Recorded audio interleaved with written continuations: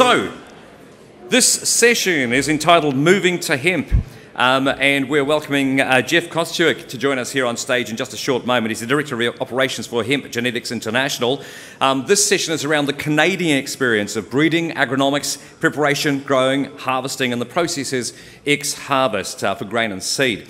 Now, Jeff grew up um, grain farming with his father in Manitoba, uh, which is a central province in Canada. And prior to working with HGI, Jeff worked for many years with Manitoba Agriculture, where he accumulated over 23 years' experience in small plot research.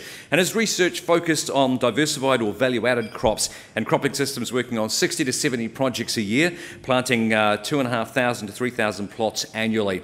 So, ladies and gents, uh, I'd like you to give him a very warm New Zealand welcome as he joins us here on stage right now. Round of applause, please, for Jeff Kostuik.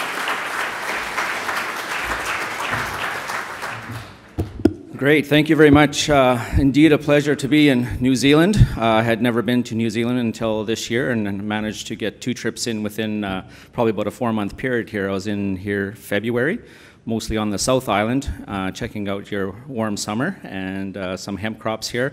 And uh, yeah, very pleased to be back here um, in the North Island. And uh, yeah, thanks so much for the hospitality. Thanks to the uh, organizing committee for inviting, and particularly Richard Barge, who I've got to know over a, a, few years since he had we met at a Canadian Hemp Trade Alliance meeting in, I believe it was Calgary, uh, three or four years ago. Um, so I'm gonna uh, my title. I changed the title a little bit. Somebody else had given me this title for a, a talk I did in, in in New York and how to farm, harvest, and store the world's most versatile plant. And I looked at that last night and I almost changed it because I don't think that I'm going to tell you how to do it. I'm going to tell you how we do it. And um, as, as we know with every farm, everybody has different challenges within the farm. And so what I'm going to do is tell you my experience, and it is, again, uh, my experience that, I've, uh, that I'm presenting here. It's not something that I've uh, read on Google or anything. Uh, I've been in the hemp industry for 20 years now. Uh, most of that is on the research side of things. Um, now I farm alongside with my brother-in-law, working for the company growing pedigreed seed for hemp genetics. And we farm about 8,000 acres together, of which this year we've got about 500 acres into hemp. And so uh, I'll go through some of our combine modifications and uh, some of the tips and tricks that I've learned along the way and how you can potentially um, adapt that to your own farm or farm system. So again, uh, I don't expect you to follow exactly what I say, but uh, hopefully it gives you an idea of what to expect and, and how, to, how to manage through it. So there's two companies that, that I work for.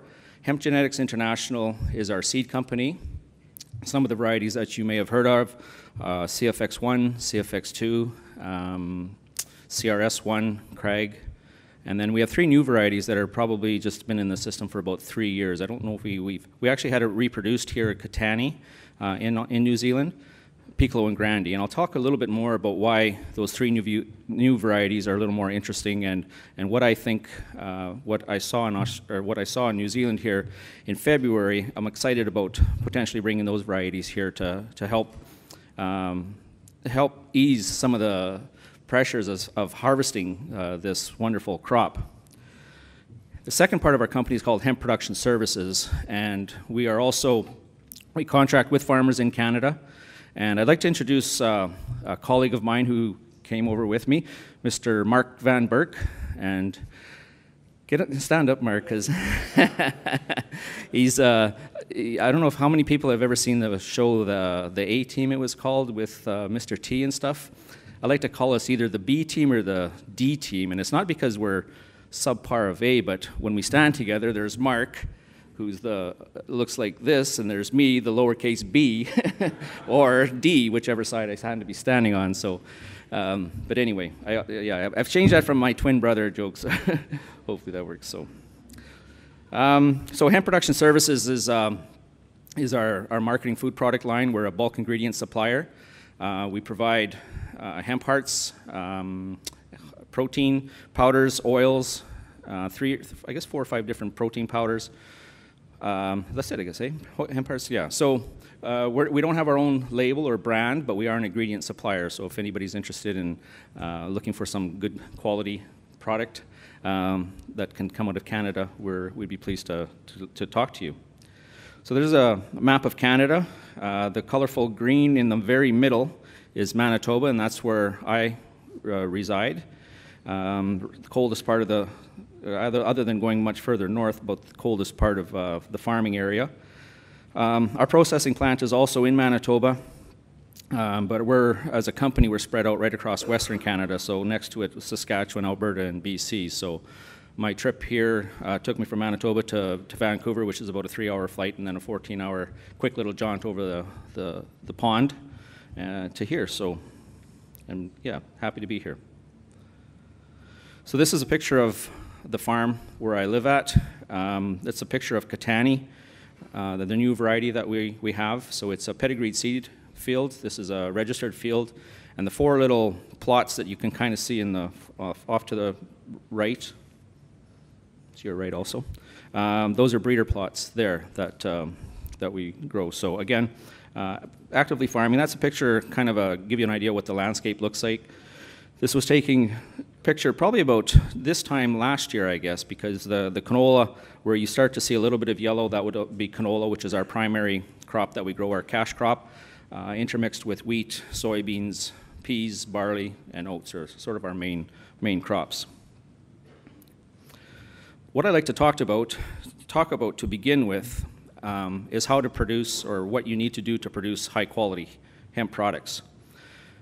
What is the market demanding? And that's the first thing that the market is demanding, and, uh, and rightfully so, is a high quality hemp product. Um, there's a lot of different processors in the world right now. Um, we feel quite confidently that we have the best product in the world. To be quite honest, we we've been at it the longest. We should should have a few tricks. So our processors have been processing since 1998, also when hemp was legalized. So they basically invented how to dehull hemp properly and how to separate those hulls from the meaty part of the hemp or the hearts. And I'll show you a picture of, of 20 years experience versus about two months experience right away. And then quality always starts in the field. We're our management group and our ownership are all farmers. I'm a farmer. Um, we understand that quality starts in the field. Uh, we're shipping a raw product uh, at the end of the day, and therefore there's very little room for mistakes that are made on the farm. It's very difficult for on the processing side to turn something that is not so good into something that's consumable. So it's very important that we, we touch on that first and the agronomics all along through the, the growing season are very important to make sure that that product stays um, as good as it can be. And what does that take? It takes a systematic approach, basically, to maximize that quality, and we'll go through that. So with that proper planning and going to conferences like this is probably the best start. Uh, networking, uh, learning from other people's mistakes, uh, and then trying not to make those same mistakes. Agronomics, uh, I'm an agronomist by trade. That's, uh, that's where my heart lies, and I truly believe that that, again, uh, gives us the benefit to produce a high quality product.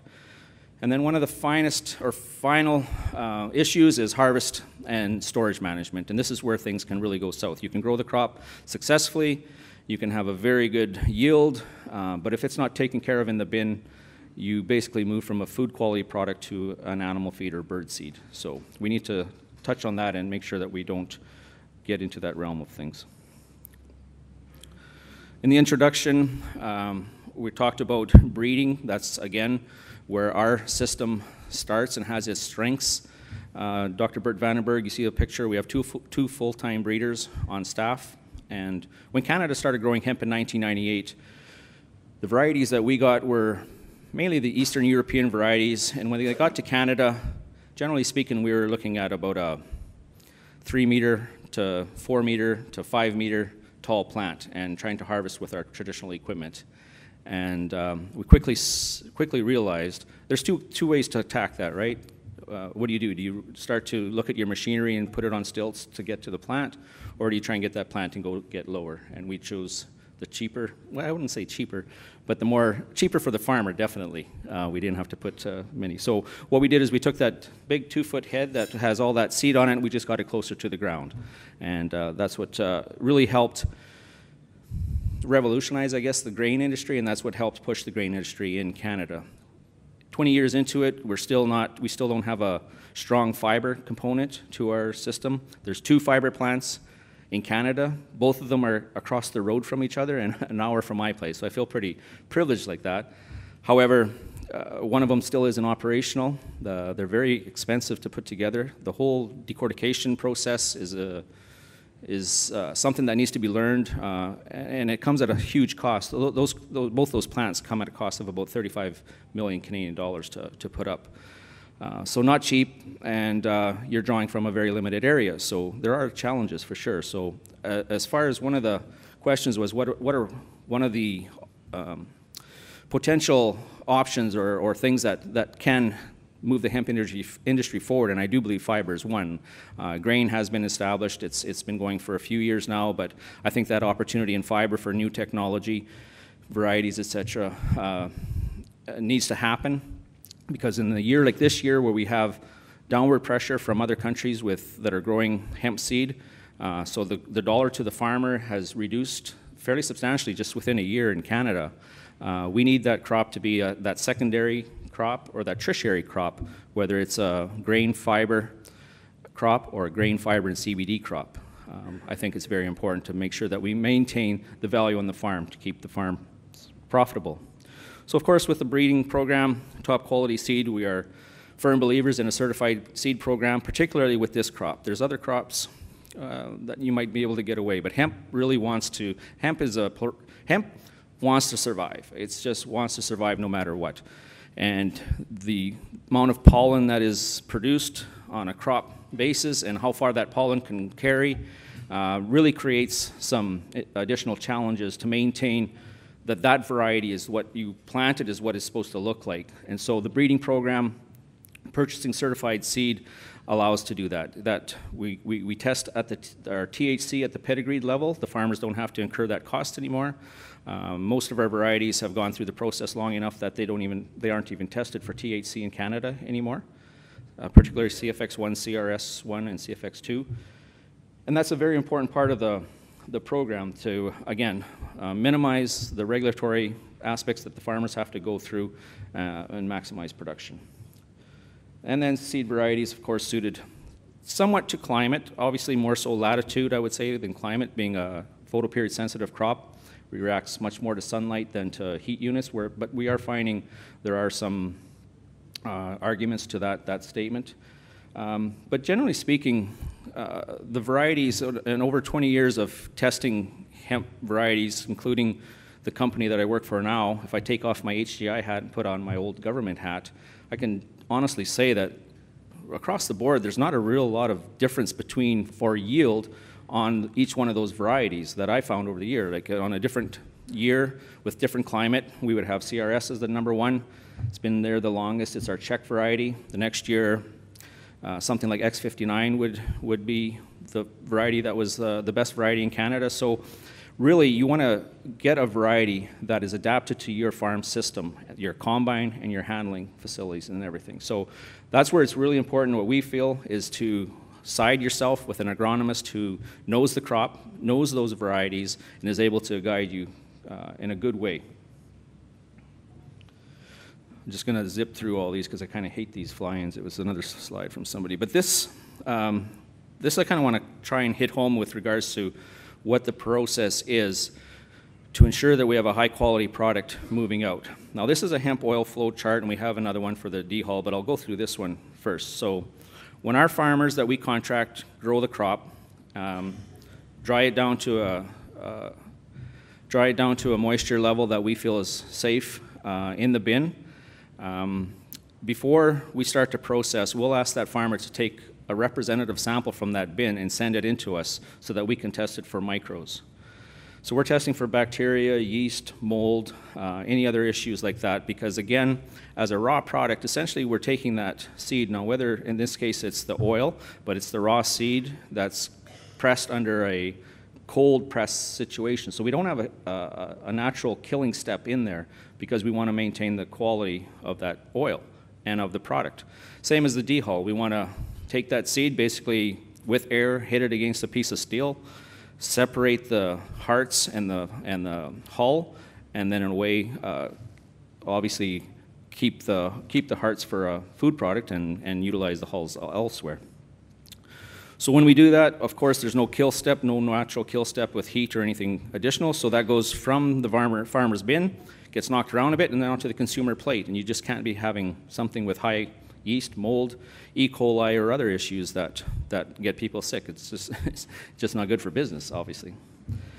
So we take that raw hemp seed, and when he sends a sample in, we just want to kind of know. We, we don't really trust that sample because how do you really probe a, a bin properly? So um, it gives us an idea what we're starting to work with and uh, how we're going to deal with it, whether, whether we do do an oil press or whatever. And then it gives us an idea what weed seeds are in there. Many weed seeds and volunteer crops are difficult to clean. We are a non-gluten product uh, in hemp, uh, but with, with the benefit of having that seed head closer to the ground, when we were harvesting those first 20 foot crops, uh, we didn't really have very much wheat in our sample because the wheat never reached that high. But now we've got those crops, they're sort of competing against each other, and wheat just happens to be difficult to clean out of hemp, even if you're using a color sorter or any other device. Um, so uh, if we have too much wheat in there, then you start to lose your gluten free status, uh, and you've got to start finding another market. So we get that raw hemp seed, take a look at it, uh, then it goes through the cleaning process, uh, and then into the crush. So from the crush, um, again, so the, the testing happens from the farmer. Uh, once it's cleaned, there should be another one of those uh, test articles in there. So comes from the farmer's bin, we test it. It gets cleaned, we test it again because we take a lot of those impurities to see where we're at. Then it goes through the processing situation uh, into either hemp seed oil and then um, into hemp powder.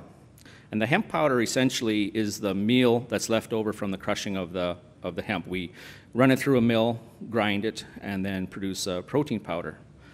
Currently, most of that, all of that, has to go into human food consumption in Canada. Uh, we're cleared to eat hemp seed and hemp meal and hemp everything, but our animals aren't yet. so we can't, we can't feed it to our cattle. Um, we can't feed it to our pets. Essentially, some people are. So if anybody's looking for a good uh, nutrient uh, product, we have a we have a lot of hemp meal right now that we can make a very good deal if you uh, if you want to start feeding your your dairy cows or what have you. Sheep, there's a, there's the odd sheep around here, I think, isn't there? So then, uh, then quality control. Then it gets tested one more time. Once that product goes through, then we test it one more time for it. And this is where we start to test for THC, uh, gluten, and everything else. And so it costs us about $1,500 per lot. Every, every farmer has his own lot code that's associated with it. So if we pick up a bag of, of hulled hemp seed from a product, and if I take a look at that code, I could tell you exactly what, what, how that crop was grown, probably within Western Canada. I can probably tell you what the three crops grown before, because that's the relationship that we have with those farmers, that making sure that they're able to provide a good product for us. Quality control and packaging. So it's quite vigorous, and this is what we're concerned about. These are our limits with regards to uh, microbial. I don't know if the, actually these aren't ours, Mark, are they? This is maybe just the standard, uh, I believe I got. I think ours are a little tighter than this actually, but this isn't, gives you an idea, I guess, of what we're testing for to make sure that we have food quality and safety. And some of those things, uh, such as Salmonella, E. coli, you often hear of some very bad situations that happen when those things go unchecked, and so it's, we take that extremely serious. This on the left is our product, our dehulled product. Uh, this was on my kitchen counter. There was a new company that just started up uh, in Manitoba, uh, not far from me. Their product is on the right. Um, so visually, um, which one would I think would you prefer to put on your yogurt or your cereal? Um, for me, I know which one. If you take a, a really zoomed in close look on the right hand side, you'll see pieces of the hull. And I gave this presentation, I guess, in, in Geelong, and there was a nutritionalist just prior to, to me, and it, it was almost a little somewhat embarrassing, but there's so much fiber within that hull that, that the, de, the dehulled stuff kind of lacks fiber to a certain degree because we release that hull. But let's get our fiber from somewhere else and not have to pick the sh shells out of our teeth. That is my position anyway. Let's just worry about the omegas. So that's, that's what the difference in what it, it, you know, the product can look like. And as we're as we're trying to get our product out, we have many, many, many new consumers that are trying hemp for the very first time. We've got one chance to make an impression with them, and if it's the wrong impression, that's your only impression. And so it's so important that we try to maintain the highest quality standards and the best quality we can. Without naming countries that start with C and not Canada, and the second letter is H, but there's a lot of times product is brought in, uh, most recently, uh, into Canada uh, with either a organic standard that you have to question or the growing process that's questioned. And that country is able to, uh, to produce hemp at a very, very, very low cost. And that's one of the main reasons that we're seeing a glut of seed in the market for this last couple of years and very low prices that are paid to farmers. And we feel that if we can maintain and promote quality, then we're a winner. So on to the agronomy. This is a little bit more. The first part was a little bit more. So any questions about that? That's what Mark's here for as far as the quality and sales and on the end product. This is a little bit more in my kind of wheelhouse, I guess. So what you need to do is take a look at a number of different things with agronomy, of course, field selection, crop rotation, variety selection, seeding, fertility, weed control, harvest. Um, so I'm not gonna, uh, this is probably about a three hour presentation if I were to go through all of that. And, and we're after lunch and uh, we want to be probably having a beer by the time I would get through a lot of that. So we're not going to go into too much detail. But I know working with Midlands um, uh, is who I had spent some time with. Joe was on right after me. Uh, very knowledgeable on the agronomy side of things. Uh, we are dealing with them. They're, uh, uh, they work with us on, a, on distributing seed. and I spent a good time with Joe and Angus and, and a number of their crew, and very knowledgeable um, as far as the agronomy. So there, you know, there are there are you have been growing hemp in New Zealand for a period of time, so it's not like it's new. But again, need to really stress on the processing side the importance of this, and it all relates to it. So crop rotation history again, I mentioned. Um, basically, trying not to follow it with a with a gluten type uh, cereal. Herbicide history, uh, no residual herbicides. Hemp is very sensitive to most herbicides. We have both an organic um, product and we also have a conventional product. Um, I believe in both, both as, a, as marketing. Uh, they're both very important, uh, but you still have to figure out uh, your fertility. And I'll show you a slide soon about how much hemp, how much fertility hemp actually needs or could use to maximize its yield. Uh, it is a hungry plant, so again, for those that totally just want to go to the University of Google, um, don't, don't believe everything that you read on there because I've seen so many articles that say hemp can grow with no fertility whatsoever. Actually, I've seen hemp produces nitrogen, which is a totally bogus statement. Um, it has no insects, no pests. It can grow with lots of water. It can grow without any water. And again, it, it, it, could maybe survive with a lot of that, but we're not looking at just having a crop that survives. We need a crop that's going to pay the bills and yield well in the farm. So you treat it well. You fertilize it.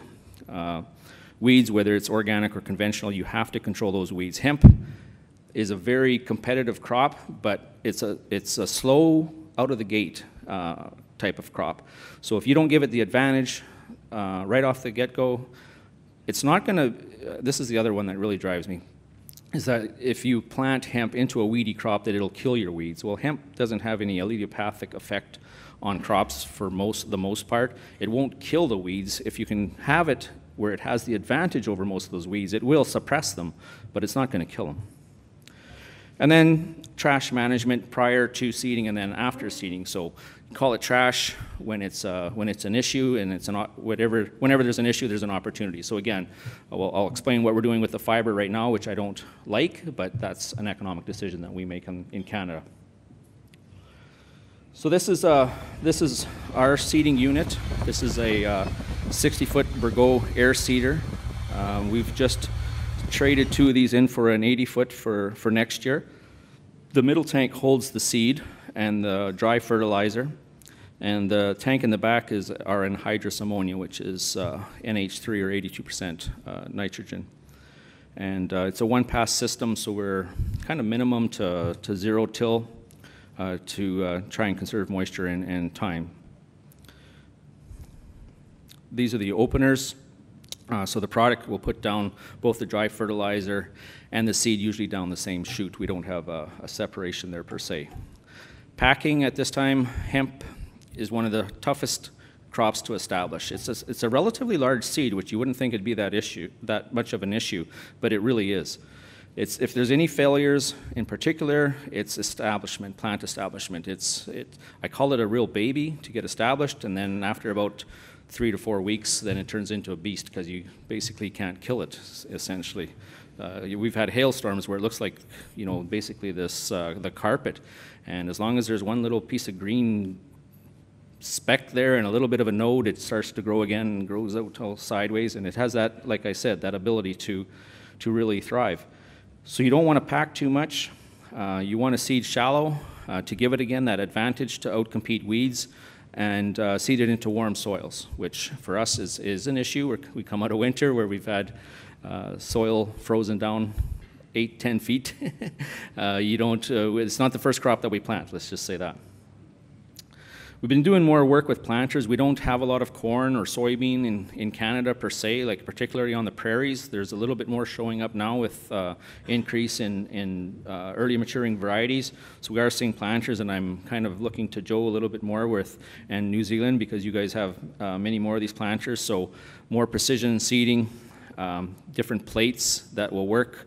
Uh, trying to work with different seeding rates on, on, on that to, to maximize again yield get that singulation uh, to help out with those air seeders, you definitely don't see that, that nice two inch gap between each thing. You might see three seeds that are within an inch uh, and then a, a gap of uh, five or six inches. And I'm old enough, I guess, that I switch back and forth between, so metric wise, so I'll, I can, I'll, I'll, try and do my best to keep online, but five to six centimeters and then 10 to 12 centimeters. So.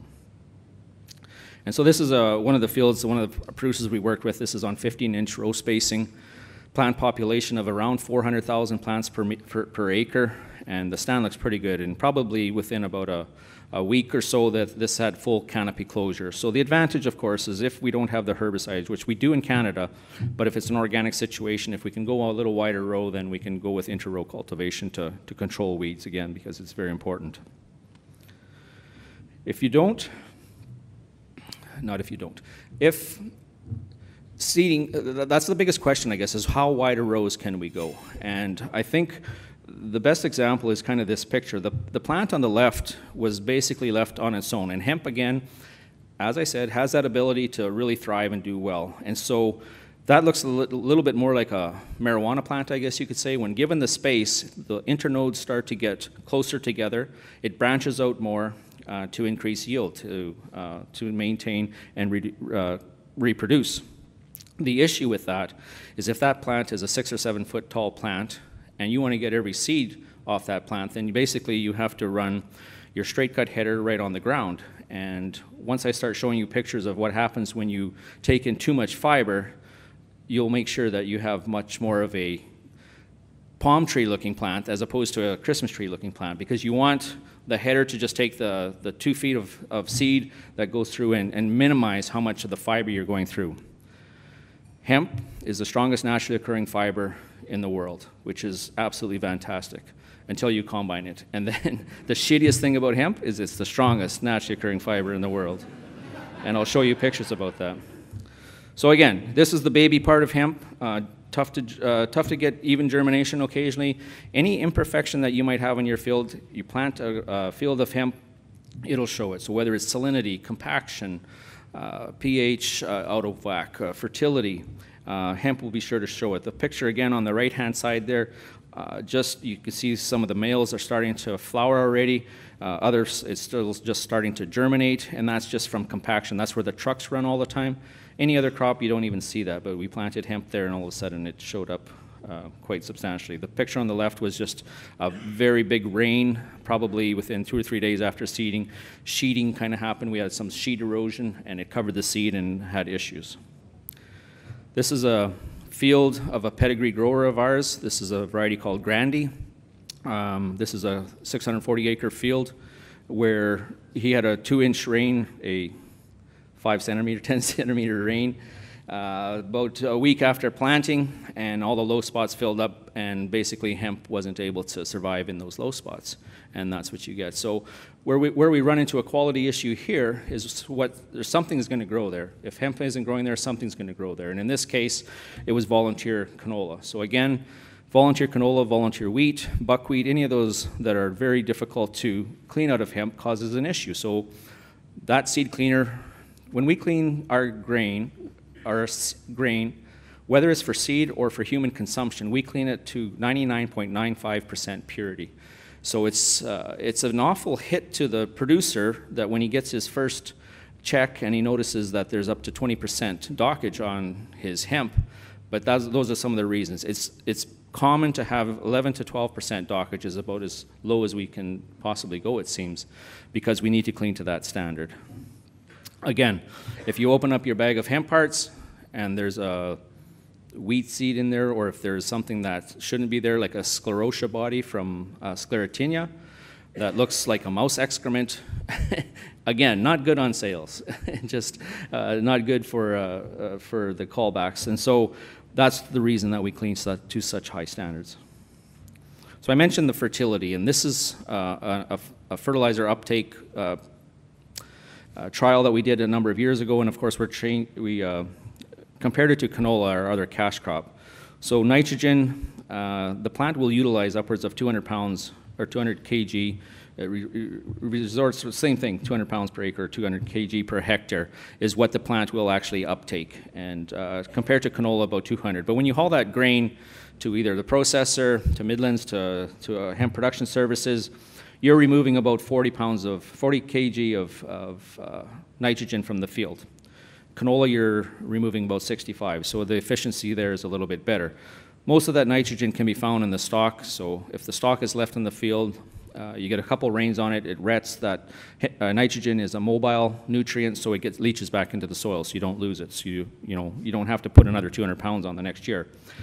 Phosphorus, the same thing, you need about 50 pounds. Uh, phosphorus helps for early season vigor, so it's a very important uh, to have plenty of phosphorus and close phosphorus phosphorus is actually a non-mobile, non-mobile nutrient, and so you need to have that close enough to the seed without causing any seed burn. The one that I found the most interesting, I guess, was potassium. Potassium use in the plant is for straw strength, uh, and when you have a stalk that's five to six feet tall, uh, or two or three meters, four meters, Obviously, that's full of potassium. That's what is the pumping system for all the nutrients in the water up and down the plant, and that's the role of potassium. So it does utilize a lot of potassium. So the, some of the concerns, I guess, is if we start to utilize hemp as a green only product, that we should be making sure that we take a look at our potassium levels in our soils. Um, but again, as a mobile nutrient, if we have it, if we can ret and let the uh, rain uh, wash that nutrient back into the soil, then we're okay. So we got about three minutes left here on my uh, scale. So I got a number of pictures here. And again, these aren't meant to scare you, but to make you aware of what hemp will do to combines and to. Uh, so how many people actually have uh, experience combining hemp? Let's just say in the. So, okay, you can see the scars and the knuckles. so this was my, this was where I spent most of my time, I guess, as far as my my uh, introduction to hemp and, and, how I harvested it. And we did have a much better, this is a 1978 Hege uh, Series B, I believe, uh, small plot combine. Uh, all beat up, but you can see there's hardly anything in the mouth, so it's very easy. If anything starts to plug, it's very easy to unplug it, and that's one of the things that is a huge benefit. So we did have a nicer, a newer Wintersteiger, but it had just too much, uh, too much in front and too much. You, here I could put a summer student in the back, grab him or her by the ankles. They could get in there, uh, start to cut away, and I could pull them out again, so it was much easier. Then I traded up to this. This is my current combine um, that we use for hemp. Um, my father-in-law was a John Deere dealer, and I did a lot of custom combining um, back in the 90s, so it was the combine that I was most familiar with. It does hemp very well, whether conventional or rotary, uh, either one. So it's the combine that I picked uh, to, to utilize. And it's a, that's a draper header with a pea auger on it. Uh, draper headers we find work a little bit better than auger headers. You want the hemp to fall onto the draper, get to the middle of the combine, and try and come in as straight as possible so it doesn't start to tangle up and then start wrapping on insides of the machine. Case IH is another very uh, popular combine for hemp in the prairies. This was a picture of a combine in southern Alberta where they have much drier conditions. Uh, a lot of that hemp is grown under irrigation there. And you can see the dust on that combine. Uh, the, the idea of this picture, like hemp is also an oil seed, but very, very, very volatile also. So this person would have a leaf blower in his cab, and after every hopper, he would blow the dust off because he was getting static electricity, and there'd be fires on the end of the auger, uh, just about virtually anywhere. And so uh, to prevent that, he would go out with a, a leaf blower and blow the dust off after every time. I didn't have a picture of a, of a Lexion combine, but this is the inside of a Lexion combine uh, with two rotors. Hemp can't decide which rotor it likes to go to, and it won't decide. And then so there's a tug of war at the beginning of those two auger or two rotors. And so as far as a combine that is probably the least popular for combining hemp in Canada, uh, the new Lexion series are, are probably that, just because of that system right there. It just plugs up in the middle of that happens that my brother-in-law, so guess what combines he has? Both Lexions. So thus the John Deere came onto the yard. So this is a this is a series of pictures of where hemp will wrap, and it will wrap just about anywhere. Um, on the blade, you want to make sure that your knives and your guard are, sh are sharp. Otherwise, you start to get this is the cleaning fan. It'll wrap in there. Uh, this is the front axle of a John Deere combine. All there is is a little bit of a spline. Uh, but if you don't protect it, um, I have a picture here uh, coming up. I should have had it right after, but uh, then that's what happens. And then that's, you know, basically you got to cut that off. Uh, this is inside the John Deere, just after the rotor. There's a beater there that beats it down into either the straw chopper, and you can see against the wall it starts to wrap along that bearing. Uh, so what I did is I, I put these little pieces of basically baler belt, bolted them on there, made sure that they're all the same weight to keep it in balance to rub the wall, and it's kind of freed up from, from, uh, from doing that. So I'm trying to show some pictures of how, how things can get better. Uh, this is being the back of a Case IH again. Um, you know, that's what your combine looks like. It's perfect for Halloween if you were to be harvesting near, uh, near Halloween because it looks like a flying witch with all the fiber hanging out the back. Any little area that can get uh, get hemp, so this is another thing. Uh, they were having trouble with that roller, so he just put a little piece of plywood in there uh, to divert hemp, uh, and away he went. So some of this stuff can, you know, you can go 100 meters and, and you're down, you know, so a simple piece of plywood strategically placed uh, gets you rolling fairly quickly. This is the piece, this is where I should have had that picture right after. So this is the PVC pipe I cut in half, duct taped it onto the, onto the axle, and no more problems. Anywhere there's a wire that you don't want ripped off, tape it up. Duct tape is going to be your best friend. Get yourself a captain hook because you're to, your arms, if they're like mine, they're not. I uh, ask Mark to come over to reach those hard to reach places, but uh, something like that helps out to get, uh, get it out of places. And I mentioned fires, and you're, it's really you're not really a hemp farmer until your combine starts on fire. I think. And uh, I was lucky enough, or unlucky enough, whatever you want to call it, to have a, a fire in my uh, back of the rotor the first year I combine. To alleviate that, we harvest much higher moisture, around 17, 18% moisture. The fiber stays together. It's not as dry. It's not as brittle. Uh, it just so happened that I'll show you a video shortly. Um, I was positioning myself for the video, left two acres of hemp out in the field, combined all night because they were calling for rain the next day, left that two acres, come back the next day or two days later, or actually it was two weeks later, ran that through the combine, it was dry as can be, and uh, went to a canola field. By the time uh, supper time came on, there was smoke coming out of the back of the rotor. But once you know that it's not going to burn the combine down, you water it down uh, as best you can and, and continue. That's just uh, one of the in Canada, that's what we use for a moisture tester for grain, so it's a Labtronics 919. Uh, if anybody wants to know how to get one, I'm not sure what you guys use here. I, I remember Conrad had kind of a handheld thing that you can do, so I'm sure you have a lot of that. Storage and harvest, running out of time, past time here. So uh, this is these are the silos or the bins that we use. Um, so when you harvest at that high moisture level, basically you have about four hours before that crop starts to heat in the truck or in the combine. So we never really harvest a full hopper. Uh, we'll harvest till it gets about just above the window, put that into a, a truck, and, and, get it on these aeration bins as quick as possible. Uh, so on the right is the fan. Uh, basically, for every horsepower of fan, uh, you can put about 200 bushels of, uh, of hemp seed into that bin. So you got to try and level that to make sure that you can that moisture can escape. And then after about one day, you have to empty that bin completely so you don't have any pockets of chaff or anything where the hemp can start to heat and again cause uh, bacteria. The things that uh, bacteria loves is heat, temperature, time temperature, and moisture. Moisture, you're at 18%, can't control that so much. Temperature, we're harvesting, it's usually about uh, 20 degrees to 25 Celsius, can't control that, but we can't control the time that it has there. Um, if we need to put some additional heat, we'll do that, and if not, then we'll just throw it right into a, a batch dryer or a continuous dryer. So this was a picture of, of my, myself and my wife in February, and I think when, when you're in the hemp industry, you can often feel like you are in the rapids. You're going to have ups and downs, and you're going to be scared as crap some days and wondering if you can ever get through it.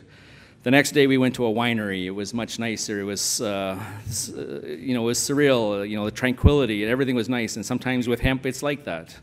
Uh, so hopefully, most of the time, you can uh, experience the tranquility so that you can sit back, have a beer, and reflect. And it seems that no matter how tough that harvest year was, you know, you'll talk to the, some of the producers. I'm not ever going to grow that crop again, and then they get a check, and then, well, where, what's the seed availability for next year? And so. I'm just gonna, I'll just quick, quickly run this video uh, to a certain extent just to prove that it can be done.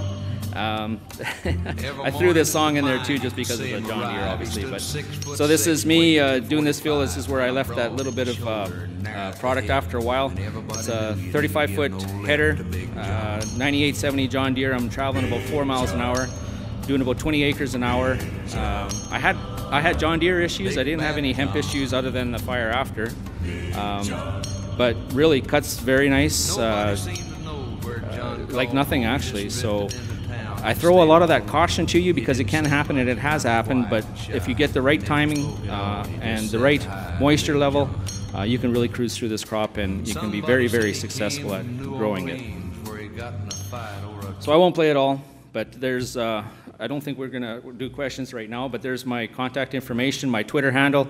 I'm here for the two days, uh, actually right up until Sunday, if anybody's hanging around till then. So uh, thank you very much for your attention, and sorry for going over. No, that's quite all right. Fantastic to have you here.